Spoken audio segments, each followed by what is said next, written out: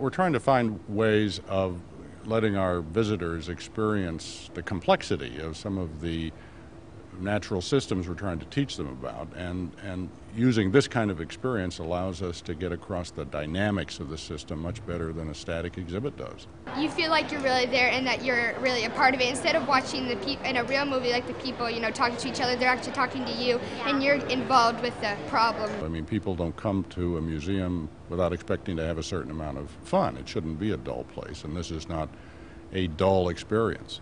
But at the same time, it'll add a way of educating people about natural history that we've never had available to us before. Oh, I like it because it's interactive. So anything that makes a child trace something or follow something or think about a process or how something's getting from A to B, I think is very um, educational. Getting the kids engaged, in addition to being entertained, is the whole point of the exercise. Uh, we don't want this to be just passive entertainment. We want them to be thinking about what they're doing, and if they're thinking about it, they're learning about it, and that's that's getting done what we want to do. I watched them watch the movie, and I watched them interact and play the games at the same time, and um, saw that they were really getting into it. They were pushing all the buttons really fast, and they were getting excited and laughing.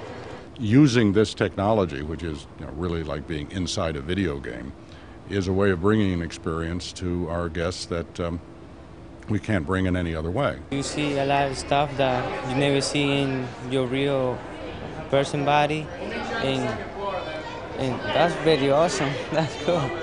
We have a whole generation of kids growing up on gaming.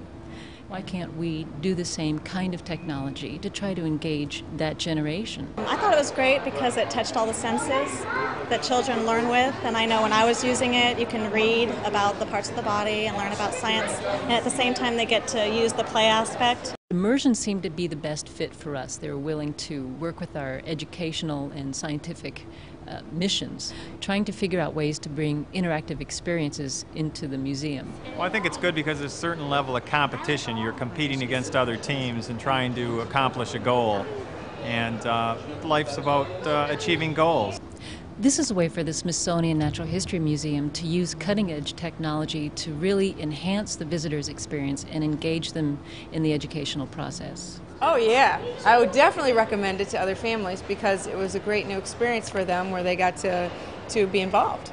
I loved it. I want to go on again.